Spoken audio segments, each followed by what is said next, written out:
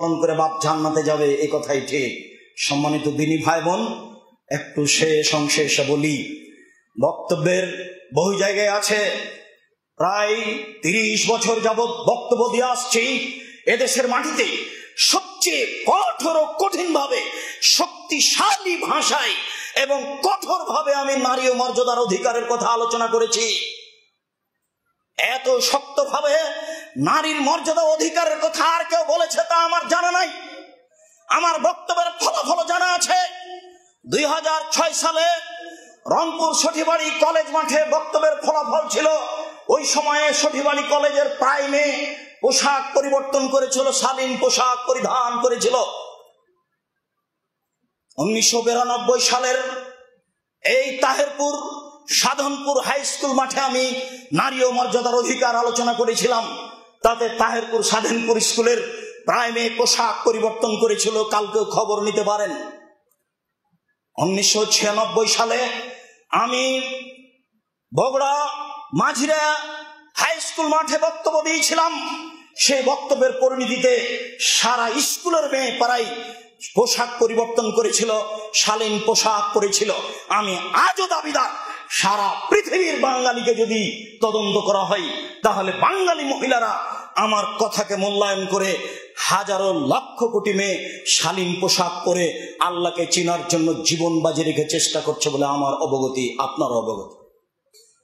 আপনি তার চাজল্য প্রমাণ এবং যারা এসব কথা বলছে আমাকে লক্ষ্য করে, আরও পাঁচজনকে লক্ষ্য করে, ও নিজেও সাক্ষী, তার মা বা তার চাচি বা তার খালা বা তার বুবু তার বোন। এই বক্তব্য আব্দুল রাজাক বিন ইউসুফের বক্তব্য লক্ষ্য করে শালীন পোশাক করছে বলে আমার অবগতি আপনি তদন্ত করে দেখুন। আমার একাধিক দিনের তদন্ত আছে। অতএব আমাদের বক্তব্য নারীদেরকে ধর্ষণের ব্যাপারে উস্কাচ্ছে। এর চেয়ে নেকটারজনক নোংরা, জঘন্য বর্বর অসভ্য মন্তব্য কি হতে পারে? এদেশ মুসলিম দেশ, এদেশের ঘর জামাই আমরা নই, এদেশে ট্যাক্স দিয়ে বসবাস করি, এদেশে কর দিয়ে বসবাস করি, এদেশে পানির বিল দিয়ে থাকি, এদেশে কারেন্টের বিল দিয়ে থাকি, এদেশে জন্মগ্রহণ করে বসবাস করছি, এদেশে চুরি করে এসে বসবাস করিনি, এদেশে ঘর জামা হয়ে বসবাস করিনি। অতএব মন্তব্য করলে বিবেচনা করতে হবে পৃথিবীর সকল দিনী ভাই বোন। সকল মুসলিমকে এই কথা বলা হচ্ছে যে কখনো যেন এরকম কত মন্তব্য না করা হয়। দিনের আলোচনা কোনোদিন মানুষকে ধর্ষণের দিকে উস্কে দিতে পারেন এটা অসম্ভব। আমি আব্দুর রাজাক বিন ইসুফ লক্ষ কোটি পরিবারের সাথে সম্পৃক্ত জড়িত আছি, যারা বক্তব্যের কারণে শালীন পোশাক করেছে তুমি বলো, তোমার ভাই বলবে, তোমার বোন বলবে, নারীবাদের কোন মহিলা বলবে যে আমার বক্তব্য মহিলা শালীন পোশাক করেছে আমার চেষ্টা চেতনায় মহিলা শালীন পোশাক করেছে এ কথা বলতে হবে। নইলে এই কথা থেকে ফিরে আসতে হবে। সম্মানিত দিনী ভাই বোন আমি বক্তব্যে বলেছি, নারীকে স্বামীর শান্তি তৃপ্তির জন্য সৃষ্টি করা হয়েছে কথা আমি বলিনি, আল্লাহ বলেছেন কথা আমি বলিনি কথা আল্লাহ বলেছেন কথা আমি বলিনি কথা আল্লাহ বলেছেন।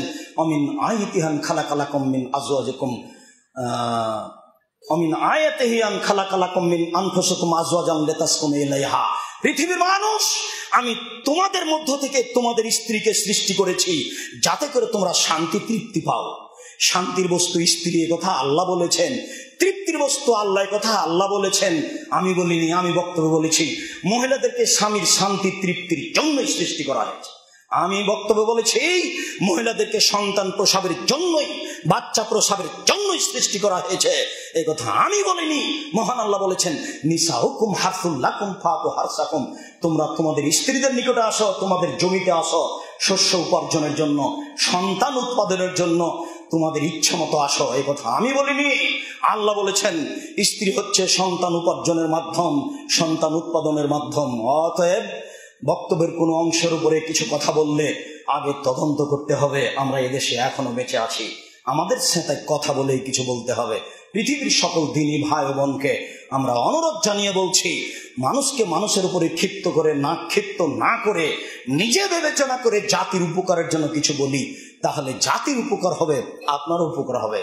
পৃথিবীর সকল দিনী ভাই বোনকে, বিশেষভাবে মুসলিম নারী পুরুষকে অনুরোধ জানাচ্ছি, রাসুল সাল্লাহ সাল্লাম যেসব কথা বলেছেন, সেগুলিকে মূল্যায়ন করার জন্য আবারও অনুরোধ জানাচ্ছি।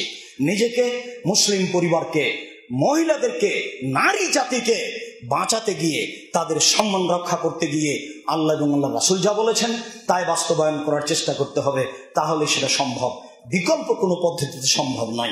বিস্তারিত দেখার জন্য অন্যান্য বই সহ দেখতে পারেন কেন নির্যাতন কি তার প্রতিকার। দেখতে পারেন সম অধিকার নয়, মর্যাদা চায় দেখতে পারেন কেন হব অবরোধবাসিনী। এই বইগুলো আপনার রাস্তায় আছে আপনি যে কোনো সময়ে সংগ্রহ করতে পারেন বলছিলাম সম্মানিত দিনী ভাই বোন। আপনাদের